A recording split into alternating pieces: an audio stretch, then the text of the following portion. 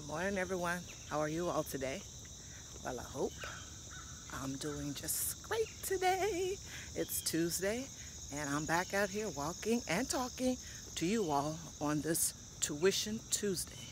Yes, for those that have school-age children, are you preparing them for college via putting money away for their tuition, or at least part of it, or some of it?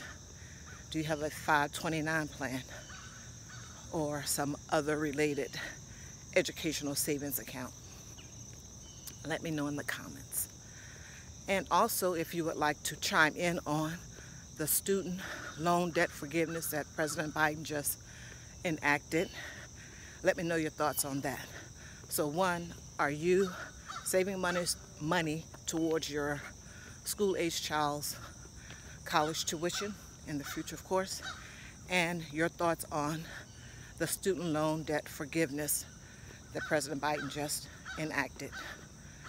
Let me know in the comments. I do appreciate your time. Thank you so much. Have a great day, all. Bye-bye.